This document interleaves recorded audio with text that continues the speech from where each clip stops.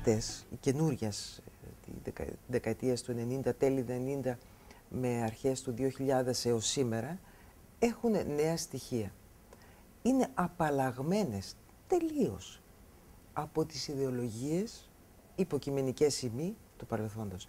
Δεν συμπαθούν, αν το θέλετε, κανένα μαρξισμό, κανένα ελληνισμό, κανένα ισμό, κανένα σοσιαλισμό. Ε, δεν συμπαθούν όλα τα δομημένα ή γνωστά, οι γνωστές ιδεολογίες και συστήματα. Επίσης, ίσως αυτό είναι και το πιο ξεκάθαρο στις, στη φρασιολογία τους, είναι ότι δεν συμπαθούν τη δημοκρατία. Δεν τη, συμπαθούν, δεν τη συμπαθούν ως σύστημα, ως μορφή διακυβέρνησης. Και επιλέγουν ότι ένας από τους στόχους τους, βέβαια το δίνουν με πολλά λόγια και το δίνουν με λεπτομέρεια, γιατί η δημοκρατία αποτελεί ένα εχθρικό προς αυτούς σύστημα. Тук в женското крило на Централния атински затвор в Коридалос се води процесът срещу 13-те предполагаеми членове на терористичната организация Конспирация на огнените ядра. Организацията, която стои зад поредица бомбени атентати, включително и зад колетния тероризъм срещу чуждестранни посолства в Атина. При изключителни пристигат за поредното заседание на съда. А другарите им възторжено не посрещат.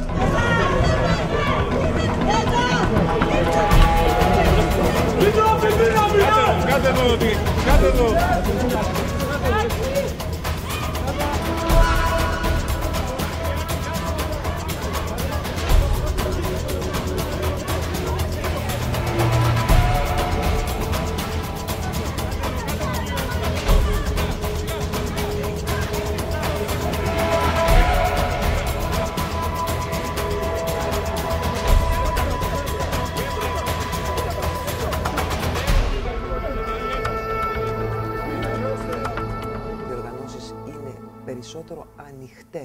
από αυτές του παρελθόντος, από ό,τι φαίνεται και από ό,τι δείχνουν και από αυτά που λένε, είναι πολυπληθέστερες, είναι μεγαλύτερες αριθμητικά.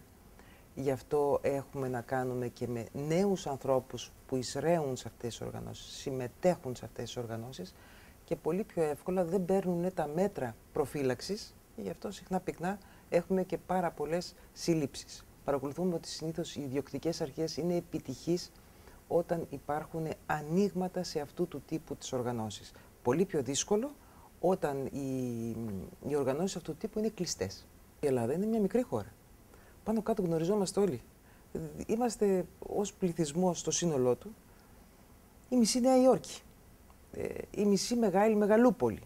Οπότε εκ των πραγμάτων αυτό δίνει μια δυνατότητα και σε μικρότερες πόλεις όπου παρακολουθούμε αντίστοιχες ε, οργανώσεις βίας να υπάρχουν, στις διοκτικές αρχές πρώτο χέρι γνώση του χώρου. Υπόθεση με τις ε, επιστολές βόμβες.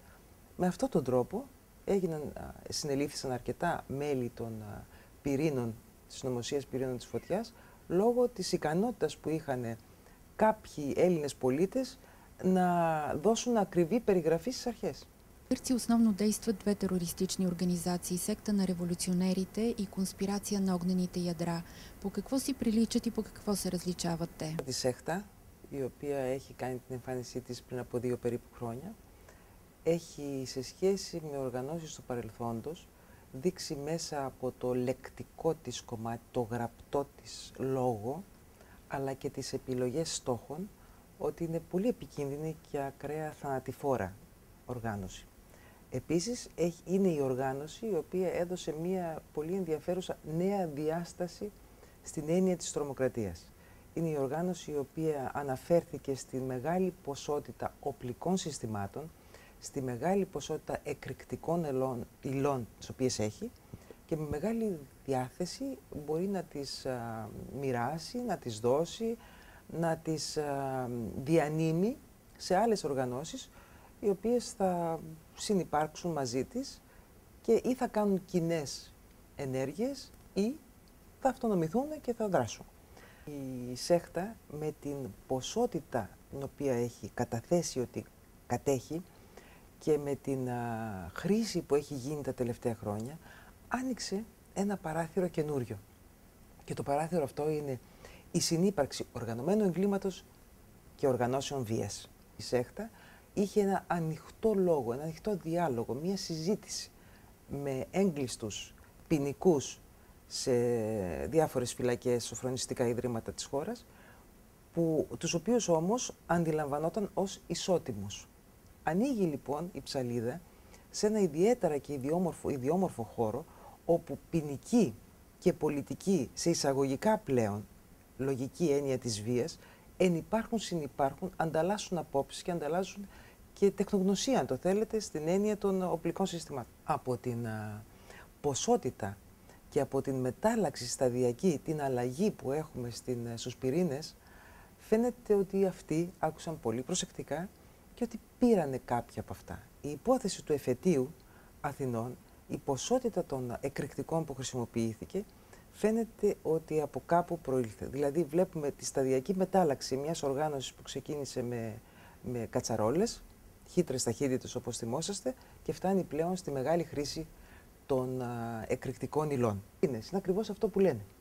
Είναι πυρήνες στις μεγάλες ελληνικές πόλεις, τις οποίες ενυπάρχουν, συνυπάρχουν, ανταλλάσσουν απόψεις και δεν είναι απαραίτητα απόλυτα εξαφανισμένοι από, στην απόλυτη παρανομία ή δεν ήταν στην απόλυτη παρανομία. Σταδιακά βλέπουμε ότι και οι πυρήνες προσπαθούν να μπουν στο, στην, στην συνομωτική παρανομία, αντιγράφοντας άλλες οργανώσεις αντίστοιχου είδους, καθώς πλέον έχουν αυξηθεί τα μέλη, είναι αρκετά τα μέλη, έχουν περάσει σε πιο θανατηφόρα, πιο έντονα χτυπήματα και σταδιακά διαμορφώνεται μια πιο ειδική βία στην Ελλάδα Ε, μεταλλάσσεται από απλή, ε, από Μολότοφ και από μικρά εκρηκτικά ή ε, πιο απειλητικές ε, ε, μορφές γραπτού λόγου σε έντονη παρουσία με χρήση οπλικών συστημάτων και βίας.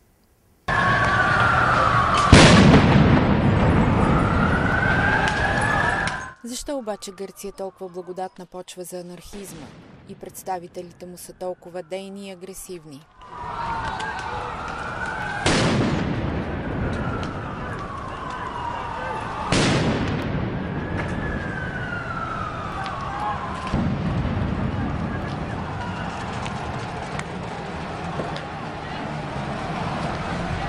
δημοκρατική Ελλάδα είχε βιώσει πολλές ανατροπές στη δική της ιστορία. Δεν ήταν μια πορεία η οποία εξελίχθηκε ήρεμα ένα κράτος για να περάσει από το ένα στάδιο στο άλλο.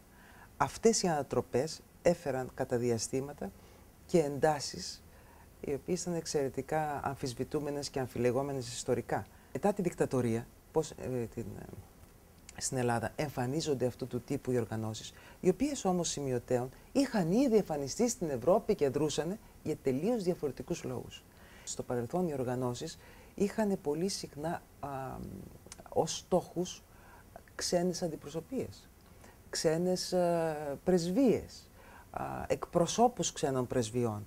Στην παρούσα φάση περισσότερες δεν είναι ξένες, περισσότερες είναι εντός του κράτους, είναι Έλληνες, που δείχνει ότι η οι ακραίες εντάσεις τους και οι διαφωνίες τους και οι διαφορές τους έχουν να κάνουν με τη μη εξέλιξη και του ελληνικού κράτους. Новото поколение гръцки терористи промени отношението си към медиите и от негови почти самишленици те се превърнаха във врагове. Οι Ευρωπαίοι εκδότες επέλεξαν να μην δημοσιεύουν τις προκηρύξεις των τρομοκρατικών οργανώσεων από μόνοι τους. Δεν υπήρχε καμιά νομοθεσία που να τους ε, πιέζει. Στην Ελλάδα αντίθετα οι επιλογές δεν ε, αγγίξανε αυτό το χώρο.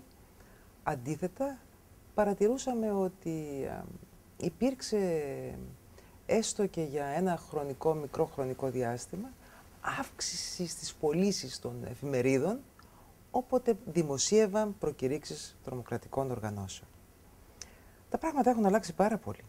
Σας θυμίζω ότι συχνά πλέον οι προκηρύξεις των τρομοκρατικών οργανώσεων δεν στέλνονται στον τύπο. Χρησιμοποιούν το διαδίκτυο. Η κινητικότητα στο διαδίκτυο, οι, οι αλλαγές στην ηλεκτρονική γνώση, η δημοσιογραφία, τεχνολογία, ό,τι θέλετε, το σύνολο, έχει αλλάξει πάρα πολλά πράγματα. Ε, οι αλλαγές αυτές έχουν ε, αναβαθμίσει και ένας τύπου εχθρικότητας αυτών των οργανώσεων στην αναγνώρισή τους όσον αφορά αυτού του τύπου το επάγγελμα.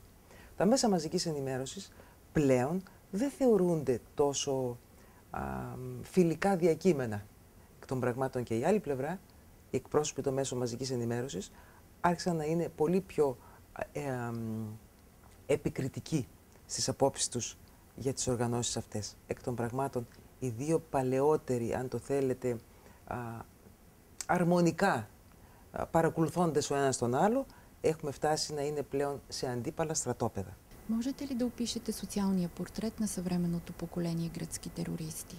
Και τα παιδιά αυτά, τα οποία συλλαμβάνονται, ε,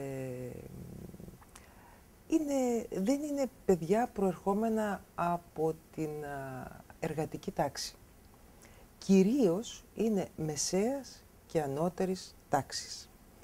Κυρίως, όχι όλοι, αλλά ίσως ένα σημαντικό τμήμα, είναι παιδιά τα οποία έχουν μία παιδεία ή βρίσκονται καθοδόν στα πανεπιστήμια.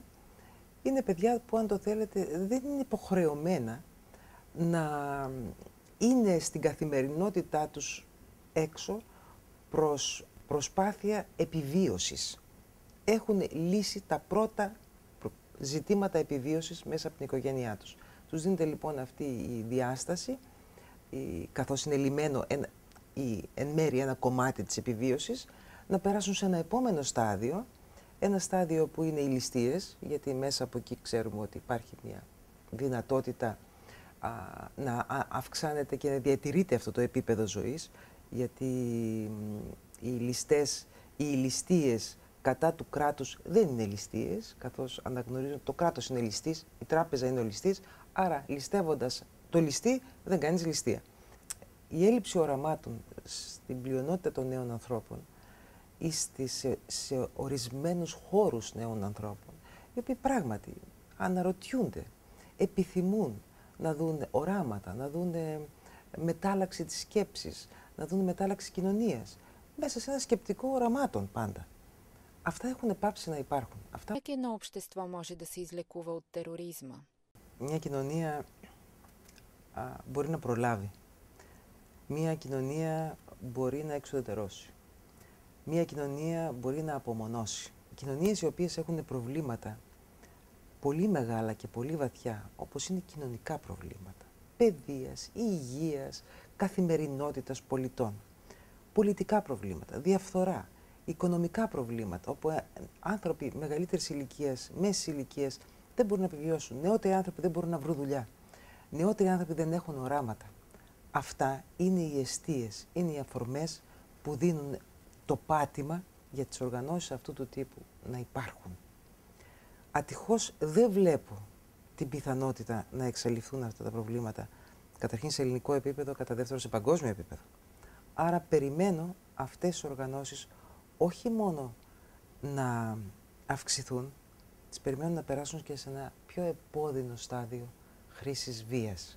Επειδή αυτές οι οργανώσεις αυτού του τύπου έχουν καταγράψει ότι δεν δέχονται την έννοια του αθώου θύματος, δεν ανέχονται τον α, αθώο πολίτη, ο οποίος κάθεται σπίτι του, βλέπει τηλεόραση, δεν υπάρχει, δεν κατεβαίνει, δεν διαδηλώνει, δεν φωνάζει, δεν ανατρέπει αν το θέλετε το πολιτικό σκεπτικό, θεωρώ ότι αυτές θα θυμώσουν ακόμα περισσότερο και θα φτάσουν σε πιο ακραία στάδια.